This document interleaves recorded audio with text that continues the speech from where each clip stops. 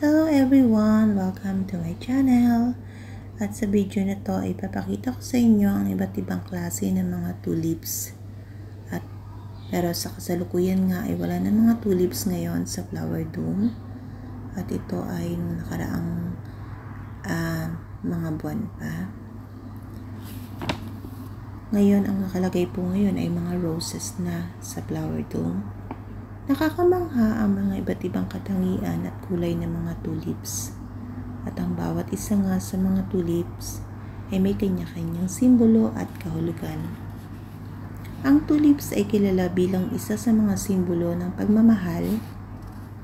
Ito nga ay may perpekto at malalim na pagmamahal na paboritong ibigay sa mga mahal sa buhay, sa kapartner man, sa anak, sa magulang, at mga kapatid. At kung ang pagbabasihan nga ay sa pungsoy, ito ay sumisimbolo ng endurance. Ito ay sumisimbolo din ng good luck, lalo na sa career. Ito din ay rebirth at bagong simula o new beginning. At ito ay may ito ang unang bulaklak na namumulaklak sa spring season. Ang tulip sa Latin word ay tulipa. Originally from Kazakhstan, noong 16th century, yun ay part ng uh, Kazakhstan at ang namumuno noon ay ang Ottoman Empire na ang leader nila ay si Sultan Suleiman I. At na-discover nga yung tulips o tulipas sa mountain of Kazakhstan at ang uh, Ottoman Empire na si Sultan Suleiman I ay nabighani sa taglay ng kagandahan ng mga tulipa. Ang tulips ay may tinatayang 100 o mahigit pang kumulang na iba't ibang klase. At ang mga bumbilya nga nito ay may tatlong sentimetro ang taas. Lumalaki ito sa ilalim ng lupa at may kaunting mga ugat. Ang mga dahon nito ay may 2 to 3 cm at ang lapad ng mga tulips at ito ay nagtatagal ang mga bulaklak ng dalawang buwan. Ngunit kapag ito ay putol na at nilalagay sa flower vase, ito ay nagtatagal ng sampung araw. Pero depende nga sa iyong pag-aalaga, kapag uh, laging mong papalitan ang tubig ng flower base araw-araw, ito ay nagtatagal ng sampung araw. Ang tulips ay kailangan ng lupa ay medyo mabuhangin. Magaan na lupa. Hindi pagka siguro tinanim mo to sa medyo mapulang lupa at medyo malagkit, hindi siya mabubuhay. Kailangan yung medyo mabuhangin na lupa at ito ay dinidilig lang ng isa o dalawang beses sa isang linggo kasi pag napasobra nga yung tubig at uh, pagdidilig ay mabubulok ang kanyang mga ugat at ang stem niya, yung mga tangkay. At ang pagdidilig nito ay kailangan magbabasain ng mga dahon o bulaklak para hindi mabulok. Ang tulips ay dumarami sa pamamagitan ng paghihiwa-hiwalay ng mga bumbilya na umuusbong mula sa pangunahing bumbilya parang yung mother stem niya. At ito itatanim ulit at magsisimulang umusbong at mamulaklak. Ang mga bumbilya ng tulipa, kailangan silang itanim sa taglamig o sa pinakabagong unang bahagi ng tagsibol.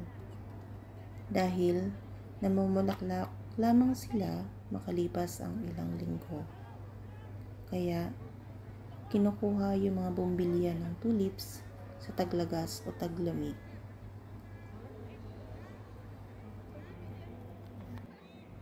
Bawat kulay ng tulips ay may kanya-kanyang kahulugan Ang dilaw na tulips nga ay dahil ito ay kulay ng araw, ang mga dilaw na tulips ay sumasagisag sa buhay, kagalakan at pagkakaibigan. Ang asul na tulips naman, ito ay kumakatawan sa katatagan at tiwala kaya sila ay isang magandang regalo para sa isang taong mahal mo. Ang puting tulips naman ay sumisimbolo ng kapayapaan, kadalisayan at pagkakaisa at ganun din ang kabutihan. Ang lilac naman na tulips ay nauugnay sa mga maharlika ngunit hindi yun dahilan para hindi sila maging perpekto. Ang itim na tulips naman ay nangangahulugan ng misteryoso. Kaya sabi nila, magandang irigalo to kapag gusto mong manorpresa. Ang pulang tulips naman ay nangangahulugan ng pagmamahal at pag-iibigan. Kaya maraming nagbibigay nito sa iyong kapareha o iyong minamahal dahil napaka parang napaka pure love ng na makareceive ka ng ganito. Ang pink tulips naman ay affection, caring, uh, good wishes, at saka pagmamahal. Pero ito yung hindi masyadong ganun ka sobrang passionate love. Di katulad ng tulips na talagang yun na nagre-represent ng passionate love. Ang pink tulips din ay pwede mong ipamigay sa kaibigan, sa family, para ipakita mo sa kanila yung iyong uh, affection o iyong pagkikare. At ito din ay binibigay sa mga nag-graduate sa promotion para ikang i-congratulate ang mga pagbibigyan nito. Kaya maraming tao talaga ang nabibighani sa tulips dahil bukod sa ang dami niyang iba't ibang klase, at sobrang nakakamangha nga yung kanyang mga kulay. At some of the tulips din ay talagang may iba't ibang shade pa. Makikita mo yung sobrang nakaka-amaze talaga. Ang kagandahan ng tulips nga ay tinuturing na mas mahalaga kaysa sa pera.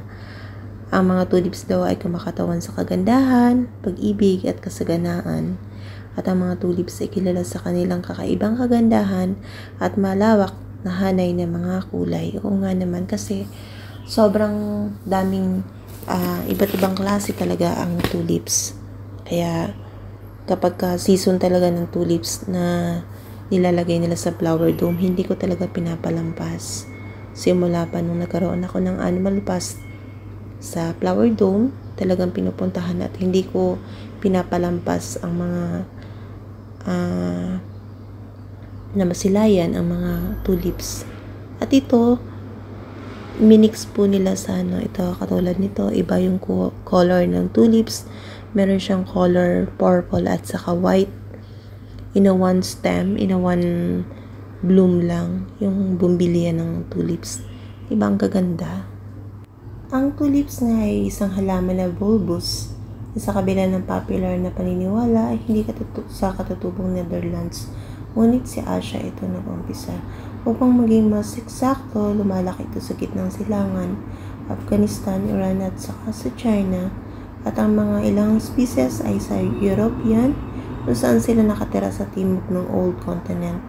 At ang genus ng botanical na kinabibilangan nito ay tulipa, na inilalarawan ng botanist na si Carlo Linneo tinatayang merong mga sobrang sandaan nga yung kanyang species at ang may mga hybrid pa at saka cultivar. Ito ay ginagawa ding pang-disenyo ng mga tao kapag ka ito ay naging pinapadry na, pwede din pong pang-decorate. Maraming pwedeng gawin sa mga dried uh, tulips na ginagawa ng mga tao. Pwede siya maging art craft or pang design sa iba't ibang mga uh, art na ginagawa ng mga tao. At ito ay popular din na gawing uh, bridal bouquet, parang ganon, yung mga kapag kinakasal. Gustong gusto din nila itong gawing part ng kasal. Dahil ang ganda nga naman ng tulips, di ba? At ang tulips nga ay katulad din ng tao dahil nakakapagbigay nga ito ng kasiyahan at kagandahan sa mundo. Tulad ng tao ay may bahagi din ito na nagbibigay ng kagandahan sa kabuuan nito. Nagbabago rin ang kulay at anyo nito tulad ng pagpunlad ng isang tao sa buhay. May kakayahan din, kakayahan din ang tulip na lumago at mamunga tulad ng kakayahan ng tao na magparami ng kanyang kaalaman, karanasan at kakayahan. Sa kabuuan, pareho ang tulip sa tao at may kakayahan na magbigay ng kagandahan, umunlad at magpakita ng kahusayan sa mundo. Ayan. Sana may natutunan po kayo sa ating uh, video ngayon about sa tulips. At ito hanggang dito na lang. At yan, todo aura tayo dyan. At sobra akong na-amaze talaga sa mga tulips na nakikita ko. At nung time na yun, ang daming tao po sa paligid. At syempre, di yan pinapalampas ng mga turista o maging lokal man dito sa Singapore na masilayan ang kagandahan ng mga tulips, mga tulips. Ayan, naging bisaya na tayo. Uh, pasensya na po sa lahat ng mga nanunood sa aking mga video. Kung mali man ang ating pag-pronounce at nakakatamad na rin po mag-edit na mag-edit. At hindi ko na rin ayan, on the spot na lang din ang aking mga sinasabi. Kasi nga, pero syempre, kailangan pa rin natin mag-effort sa pag edit para mas maganda ang ating mga videos. Maraming salamat po sa lahat ng mga nanonood sa aking mga video, sa aking uh, mga subscriber. Kung hindi pa po kayo nakasubscribe, please like, share, and follow, and subscribe. Maraming salamat po sa inyong lahat. And God bless. Ayan, ito po yung windmill ng kasama po sa mga sa Tulip Mania. Maraming salamat. At hanggang dito na lang po ulit ang aking video. And God bless po sa lahat. At sa mga hindi pa po dyan nakasubscribe, please subscribe to Mia J channel.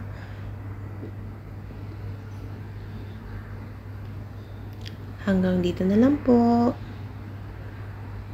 Maraming salamat.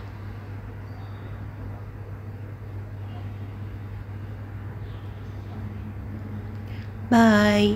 Abangan nyo po ang aking i-upload na mga roses naman para sa ating bagong uh, vlog. Thank you so much. Hanggang sa mali.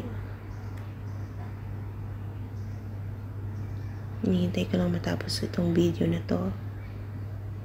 God bless.